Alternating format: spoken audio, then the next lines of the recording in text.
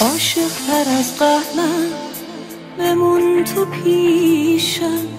دور از چشت هرگز آروم نمیشم.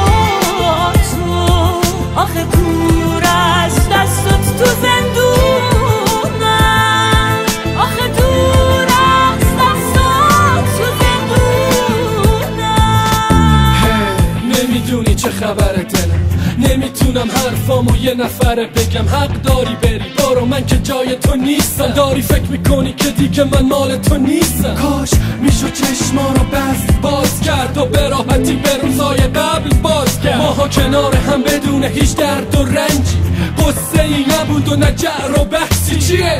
می‌خوای به هم بگی باورش سخته. کیه؟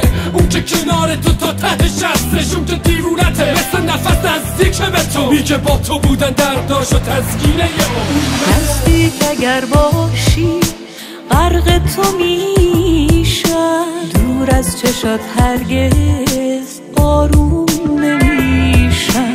از غم دلم دوره آخه توی امیدم.